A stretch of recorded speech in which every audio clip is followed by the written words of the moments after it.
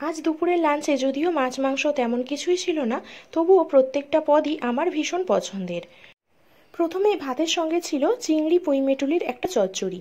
এটা বেগুন, আলু, মূলো, শিম সব কিছু সবজি দিয়ে আদা, জিরে, তেজপাতা পাঁচ ফোড়ন দিয়ে করা হয়েছিল।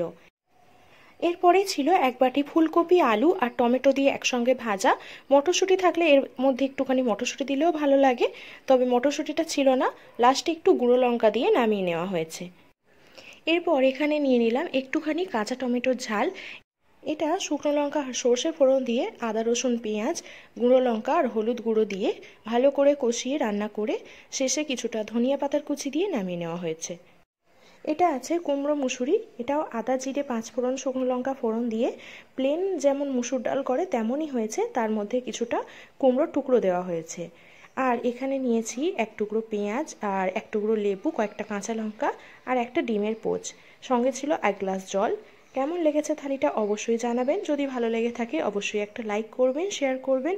আর এর মধ্যে কোনো রেসিপি জানার ইচ্ছে হলে অবশ্যই কমেন্ট করবেন। আর হ্যাঁ আমার চ্যানেলে নতুন বন্ধু হয়ে থাকলে অবশ্যই চ্যানেলটাকে সাবস্ক্রাইব করবেন। সুস্থ থাকবেন, ভালো থাকবেন। অসংখ্য ধন্যবাদ।